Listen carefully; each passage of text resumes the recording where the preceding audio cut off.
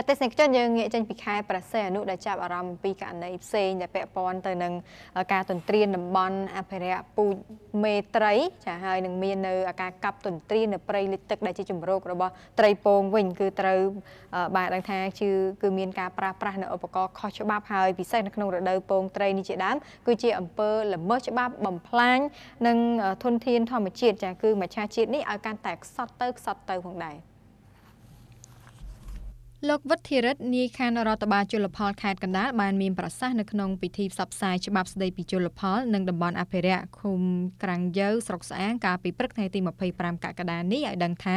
ដោយសារកំណើនប្រជាពលរដ្ឋការប្រែប្រួលអាកាសធាតុនិងការកាប់បំផ្លាញព្រៃលិចទឹកទន្ទ្រានតំបន់អភិរក្សនិងការប្រើប្រាស់ឧបករណ៍នេសាទដែលខុសច្បាប់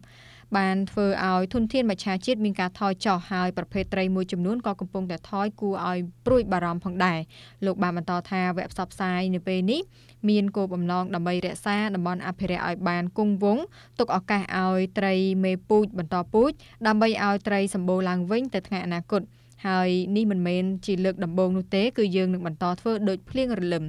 លោកនាយខណ្ឌបានបន្ថែមថាក្រៅពីវិធានការអប់រំណែនាំយើងក៏ប្រើនៅវិធានការច្បាប់ទន្ទឹមគ្នាផងដែរហើយក៏សូមអំពាវនាវដល់ប្រជាពលរដ្ឋទាំងអស់ក៏ដូចជាសហគមន៍នេសាទចូលរួមថែរក្សានិងបង្ក្រាបនៅបទល្មើស កាប់ព្រៃលិចទឹកការទន្ទ្រានចូលចាប់ត្រីនៅក្នុងតំបន់អភិរក្សនិងបទល្មើសនេសាទដែលមានដូចជាការប្រើឧបករណ៍ឆក់គ្រប់ប្រភេទការប្រើស្បៃមុងនិងឧបករណ៍ដទៃទៀតដែលខុសច្បាប់ឲ្យបានជាដាច់ខាតហើយប្រសិនបើបងប្អូនធ្វើបាននោះគឺធនធានជលផលរបស់យើងនឹងមានការកើនឡើងមកវិញជាជាមិនខាន។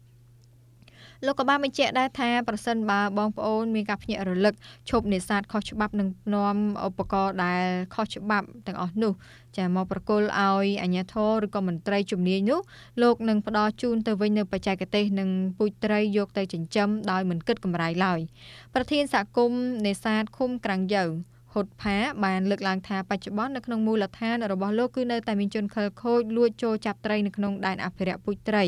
ដែលប្រើនៅឧបករណ៍ល្មើសច្បាប់ពិសេសគឺឆក់និងស្បៃមុងតែម្ដងប៉ុន្តែបន្ទាប់ពីវគ្គផ្សព្វផ្សាយនេះគឺសង្ឃឹមថាប្រជាពលរដ្ឋនឹងបានយល់កាន់តែច្បាស់និងដឹងហើយបោះបង់ចោលនៅឧបករណ៍នេសាទដែលខុសច្បាប់បដូរយកបច្ចេកទេសនិងពូជត្រីយកទៅចិញ្ចឹមនិងរួមគ្នាក្នុងការថែរក្សានៅតំបន់អភិរក្សឲ្យបានគង់វង្សដើម្បីជាប្រយោជន៍រួមទាំងអស់គ្នា។